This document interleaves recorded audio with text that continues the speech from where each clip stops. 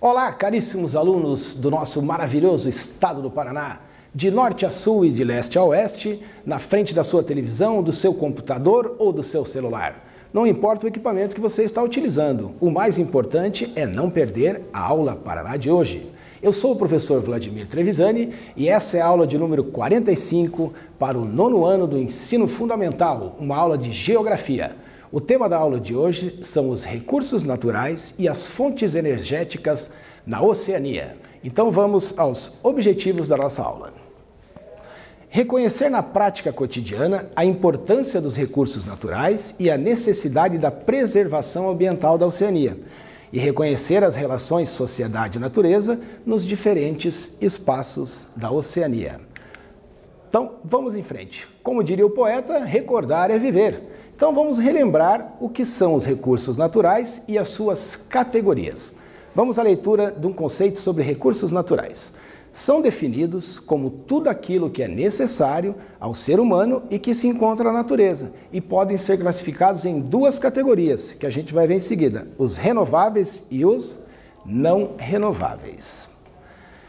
Os não renováveis abrangem todos os elementos que são usados nas atividades humanas e que não têm a capacidade de renovação. Os renováveis, pelo contrário, eles detêm a capacidade de renovação após serem utilizados pelo ser humano nas suas atividades produtivas. Ok? Feito isso, vamos em frente e já vamos fazer uma atividade, ok? Vamos ver a atividade, vocês vão identificar em cada imagem que vai aparecer aqui abaixo a categoria que elas pertencem, se elas são recursos naturais renováveis ou não renováveis, ok? Na letra A, nós temos uma plataforma de exploração de petróleo. Na letra B, temos algumas barras de ouro. Na letra C, temos um curso d'água, a água sendo representada aqui como um recurso natural. E na letra D, nós temos as florestas, as matas. Então, vocês vão ter um tempo aí para responder essa atividade, beleza? Você copia o enunciado, Coloca A, B e C, uma embaixo da outra, e escreve ao lado se é um recurso natural renovável ou não renovável, ok? Reloginho na tela.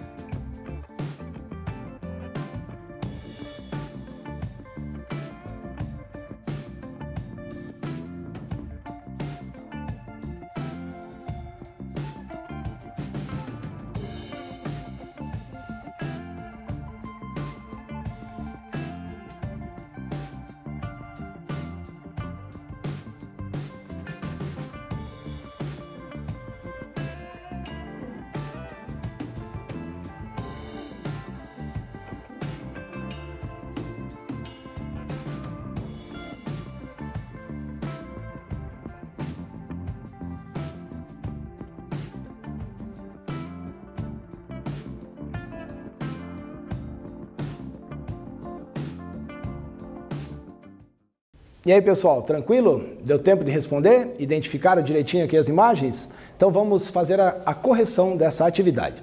Vamos reler novamente? Identifiquem cada imagem, imagem abaixo, a que categoria elas pertencem, se são recursos naturais renováveis ou não renováveis. Na letra A, temos uma plataforma de exploração de petróleo em alto mar. E pergunto a vocês: o petróleo é um recurso natural renovável ou não renovável? Vamos à resposta. É um recurso não renovável. O petróleo, é, o tempo de renovação que teria, não, nós não estaríamos provavelmente mais neste planeta. Leva muito tempo para se é, para ser composto no subsolo os restos vegetais e dos, anima dos animais, a fossilização para o surgimento de petróleo. Então, ele é um recurso não renovável. E, inclusive, as reservas de petróleo no mundo estão se escasseando né? estão entrando em escassez, estamos tendo que buscar fontes de energia é, renováveis, as energias limpas. Na letra B temos barras de ouro. E aí, será que o ouro é renovável ou não renovável? Também é não renovável, também demora muito tempo para se formar no subsolo. Né? Nós podemos usar como exemplo o, as Minas Gerais, o estado aqui brasileiro, que tem esse nome porque possuía jazidas de, de metais preciosos, inclusive o ouro.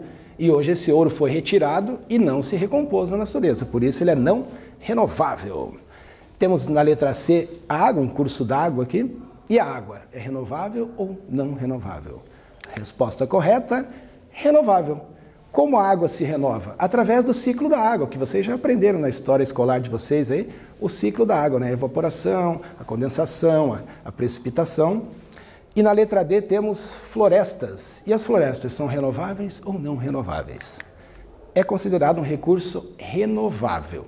Porém, nós devemos ficar atentos a essa, essa capacidade de renovação das florestas, porque ela depende muito também agora da ação humana, porque as florestas também estão sendo muito devastadas no planeta todo, não é só no nosso país. Ok, pessoal? Corrigida a atividade, vamos em frente? Agora vamos falar diretamente sobre o continente da Oceania, os recursos naturais presentes neste continente. É, antes vamos nos situar aqui em relação a esse, a esse continente com alguns aspectos gerais da Oceania. A Oceania é o menor continente terrestre em extensão territorial, tem aproximadamente 8,5 milhões de quilômetros quadrados. É muito parecido com o tamanho do nosso território brasileiro aqui. O Brasil tem 8 milhões 514 mil quilômetros quadrados. Por isso somos um país de dimensões continentais. Possui 36,6 milhões de habitantes que estão distribuídos em 14 países, mas a maioria deles habita a Austrália. Vocês vão perceber ao longo da nossa aula que a gente vai usar muito a Austrália e a Nova Zelândia como referência para o tratamento dessa questão na Oceania. Como nós temos países de referência na América do Sul, Brasil e Argentina, os Estados Unidos na América do Norte. Então, para a Oceania, nós vamos falar muito sobre Austrália e Nova Zelândia. Vamos em frente. Separei esse mapa aqui das regiões da Oceania para ao, longo da aula a gente vai falar muito sobre esses pequenos países aqui. Então, a regionalização da Oceania tem a Melanésia, que é um conjunto de ilhas aqui, a melanésia tem esse nome por causa desse, da pigmentação que nós temos na pele, da pele mais escura, que é a melanina. Então aqui habitam povos de pele mais escurecida. Temos a Micronésia, que são pequenas ilhas também, e a Polinésia, também regiões de pequenos arquipélagos. E a Austrália e a Nova Zelândia, né, considerados os maiores países. Algumas, alguns estudiosos consideram aqui a Macronésia sendo a Austrália como uma grande ilha. Ok? Então, situado isso, nós vamos em frente. Vamos agora para os recursos naturais da Oceania. Vamos listar esses recursos, entender como funciona, qual é a relação que a sociedade tem com esses recursos. Vamos, lógico, utilizar novamente a Austrália aqui. A Austrália possui grandes reservas de recursos minerais. O solo do território australiano, por exemplo, abriga expressivas jazidas de ouro, de bauxita. A bauxita é um mineral conhecido também, pois é a, a, a matéria-prima para a produção do alumínio, minério de ferro, chumbo, cobre e o manganês. É, em relação às fontes energéticas utilizadas, o, a Austrália tem reservas de carvão mineral, que a queima desse carvão alimenta as termoelétricas, né? o aquecimento transformado em energia elétrica e alguns, algum tempo, alguns anos vem trabalhando com as fontes renováveis. A Austrália, nesse sentido, passou de vilã do meio ambiente, né? foi na contramão agora disso, e vem buscando essas energias limpas. Né? A gente vai ver uma notícia muito interessante durante a nossa aula aí sobre isso. Vamos lá. E os outros países, aqueles conjuntos de ilhas que nós vimos aqui, também têm atividades econômicas importantes relacionadas à mineração. Temos as Ilhas Salomão, Papua Nova Guiné e as Ilhas Fiji, que fazem parte da Melanésia, aquele, aquela região dos, dos povos que têm a pele mais escurecida, e os estados federados da Micronésia, aquelas outras pequenas ilhas. Das Ilhas Salomão, temos jazidas de ouro, prata, cobre, o fosfato, também muito utilizado na produção de fertilizantes, o asbesto e novamente a bauxita aqui, né, que é a matéria-prima do alumínio. Papua Nova Guiné, com reservas de ouro, cobre e petróleo, as Ilhas Fiji, com ouro e cobre, e grandes jazidas de fosfato nos estados federados da Micronésia. É, separei para vocês aqui uma curiosidade sobre esse mineral aqui. Os demais minerais aqui nós é, e vamos perceber também que o ouro, né? Vamos lembrar, o ouro apareceu em todos esses pequenos países aqui. A exploração do ouro lá ainda é, é pequena não foram explorados todas as jazidas, tem uma quantidade de ouro considerável nessas, nessas pequenas ilhas. Separei para vocês aqui o asbesto. Né? Alguém já ouviu falar disso, do asbesto? A gente conhece o asbesto, mas com um nome um pouquinho diferente desse mineral. Vamos ver. Olha lá. O asbesto ele é um mineral que faz parte da família do amianto. Ele é amplamente encontrado na natureza né? é, e no nosso país Aqui no Brasil ele era utilizado na fabricação de telhas onduladas, lembra daquelas telhas onduladas tal? Chapas de revestimento, tubos e caixas d'água. As caixas d'água, acho que todos perceberam que a gente utiliza hoje caixas d'água de plástico, aquela caixa azul. Não é usado mais o amianto. As caixas feitas de amianto eram é, uma coloração acinzentada, eram pesadas as caixas, né? Então, por que esse mineral foi proibido no nosso país? A inalação prolongada de fibras do amianto pode provocar doenças graves, incluindo câncer do pulmão e a asbestose, desculpa, faltou essa ali, a asbestose, que é um tipo de pneumonia. Então, os trabalhadores dessas, dessas indústrias que produziam as caixas d'água, os tubos, os revestimentos, acabavam adoecendo dessas doenças respiratórias. Então, ele foi proibido a utilização no nosso país. Aqui, voltando, vamos falar mais um pouquinho da, das fontes renováveis de energia na Austrália. A Austrália, por exemplo, gera energia renovável suficiente para abastecer 70% das casas das famílias do país. E isso é muito importante, porque eles agora utilizam a energia hidrelétrica, eólica e solar. E o objetivo do, do, dos australianos era chegar em 2018 com 90% da população sendo abastecida com energia que a gente chama das energias limpas, aquelas renováveis. Será que eles conseguiram? Vai lá, dá uma pesquisada, ver se eles atingiram este objetivo. Então, voltando aqui na, na Austrália, atualmente as alternativas limpas para geração de energia que é a eólica, a energia do sol, a utilização dos, dos cataventos, é, capturando ali o, o vento, aquilo gira com uma força tamanha que é transformada em energia elétrica, elas compõem 17,2% de toda a eletricidade gerada na Austrália, sendo a hidrelétrica, que a gente já falou, a eólica e a solar. Para vocês entenderem o que, que isso representa em termos de redução de emissão de poluentes, um documento do Australian Renewable Energy Index, que é o índice de energia renovável da Austrália, explica que é como se 8 milhões de veículos parassem de circular nas estradas e nas, na, na malha viária do país. Então imagina você tirar 8 milhões de automóveis, a diminuição que você tem da emissão dos gases poluentes. Aí, como eu já disse, vamos novamente usar aqui a Nova Zelândia e a Austrália, dessa vez a Nova Zelândia, para conhecer um pouco mais dos recursos naturais desse país. A Nova Zelândia é o segundo país mais desenvolvido economicamente da Oceania, junto com a Austrália, e detém jazidas de petróleo, gás natural e carvão, que são as principais. Já abunda um pouco lá da Austrália, né? Ele já tem algumas de petróleo, gás natural e o carvão coincide com o território australiano. Outro grande destaque do continente é Nauru, é uma ilha que fica na, na Micronésia. A economia é baseada na produção de fosfato. O fosfato também é amplamente utilizado nas práticas agrícolas, na produção de fertilizantes. É usado em alguns produtos de limpeza também, mas infelizmente ele pode causar alguns danos ao meio ambiente. Um deles é a eutrofização, por exemplo, é a proliferação de algas em corpos d'água que acabam tirando o oxigênio da água. Isso é muito prejudicial para os, os animais, as plantas, que, as plantas aquáticas.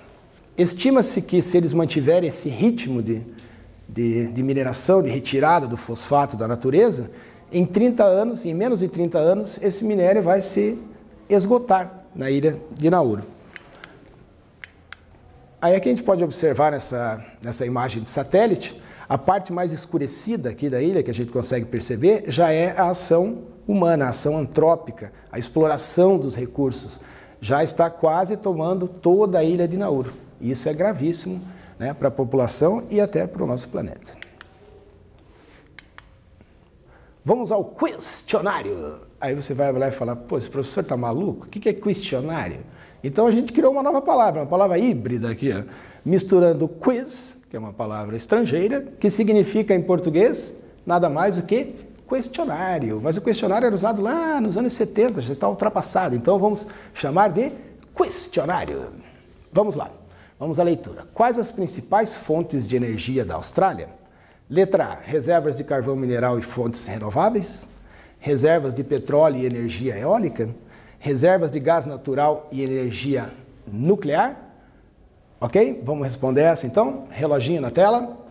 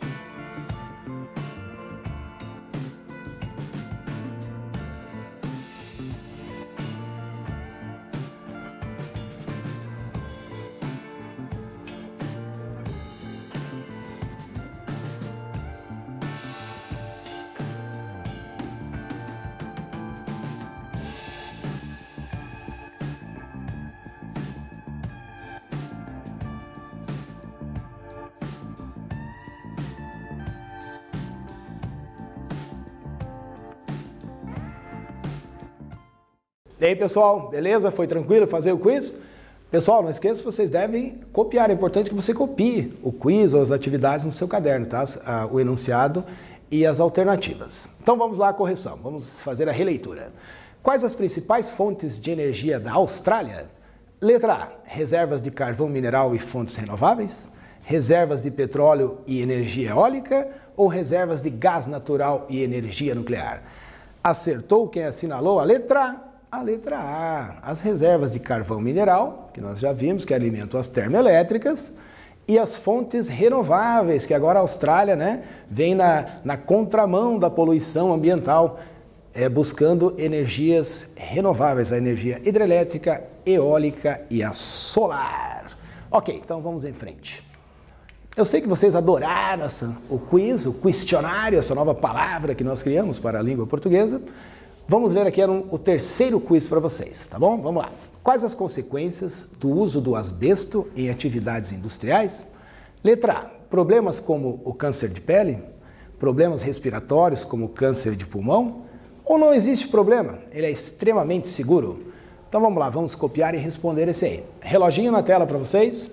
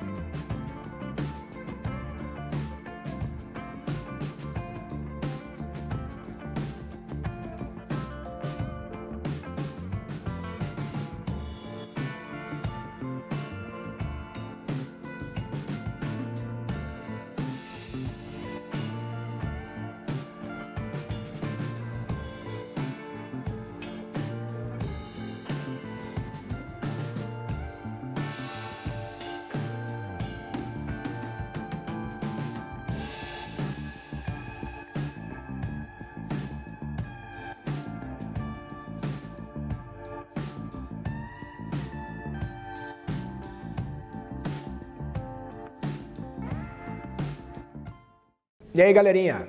Vamos lá, vamos responder mais esse quiz? Então vamos juntos fazer a releitura aqui e vamos à resposta correta.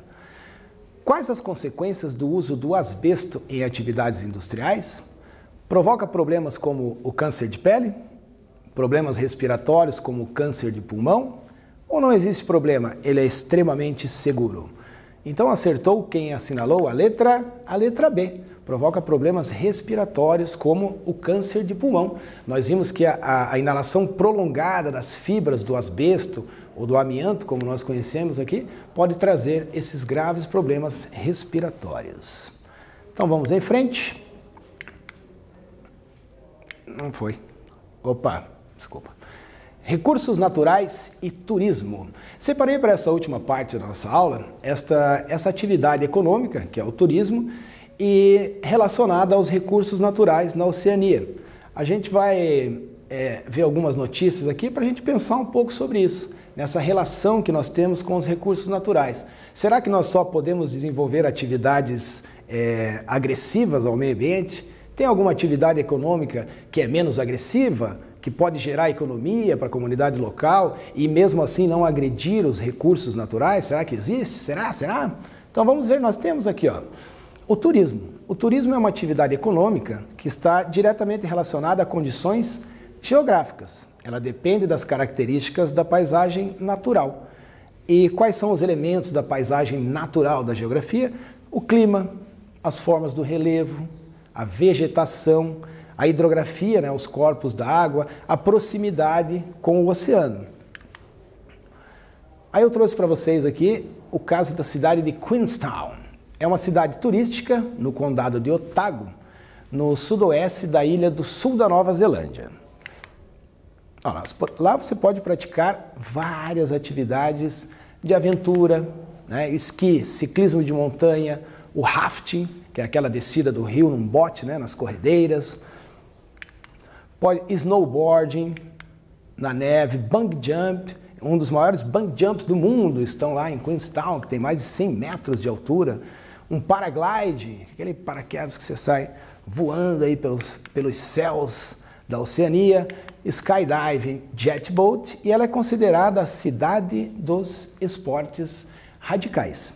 Então, nesse sentido, a, as condições geográficas favorecem o turismo, não só atividades de aventura, mas você pode desenvolver atividades de contemplação, de relaxamento, de apreciar a natureza, as belezas naturais, né? É, infelizmente, a, a, nossa relação hoje com os recursos naturais, devido à grande industrialização do nosso planeta, a globalização, o desenvolvimento tecnológico no qual nós chegamos, infelizmente vem trazendo problemas aos recursos naturais. Né? A fonte de energia também, a busca agora deve ser pelas fontes renováveis, ok? E Queenstown, por esse motivo, é considerada a cidade dos esportes radicais. Ok? Então vamos em frente. Vamos fazer uma, uma atividade aqui sobre o que a gente acabou de conversar, sobre o turismo e a relação desse turismo com os recursos naturais. Na número 4, qual a importância dos recursos naturais para o turismo? Então, o que, que você vai pensar nessa atividade? O que a gente acabou de falar há pouco e ver se você consegue produzir um parágrafo, né, é, fazendo é, destacando essa importância dos recursos naturais e o turismo. Beleza? Reloginho na tela para vocês.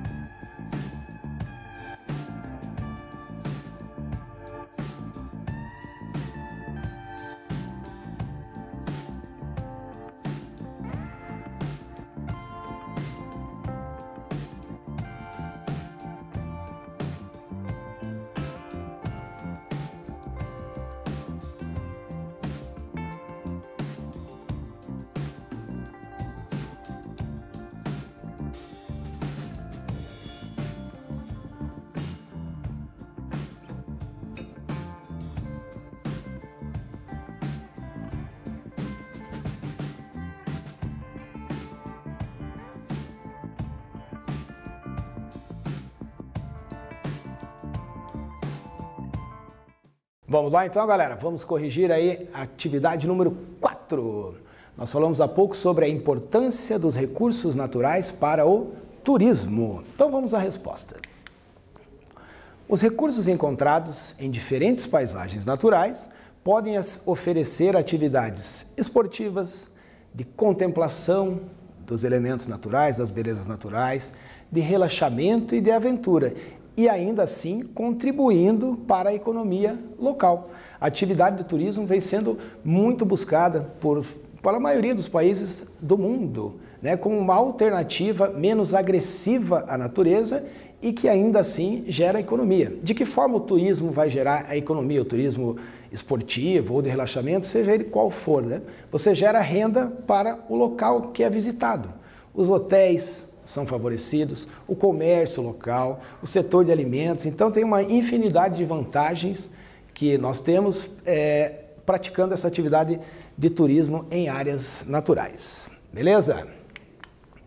É isso aí, galera. Vamos ver o que, que a gente é, o que nós vimos na aula de hoje. Hoje nós vimos a diversidade de recursos naturais da Oceania e a sua localização. Vimos que Austrália e Nova Zelândia são os países de referência, eles que detêm a maior parte desses recursos naturais, né? Eles ocupam 90% do, do território da Oceania, ocupado por Austrália e Nova Zelândia. Né? Os outros países têm algumas dificuldades em desenvolvimento e a gente vai ver isso na nossa próxima aula. Falamos também sobre as fontes energéticas da Oceania, né, que vem buscando agora as fontes renováveis, as chamadas energias limpas, com a energia hidrelétrica, a eólica e a solar, e a relação da sociedade, natureza, frente a esses recursos naturais, né, de que forma é feita essa exploração dos recursos e a utilização das fontes de energia. Beleza, galera? Um abraço para vocês, até a próxima, valeu!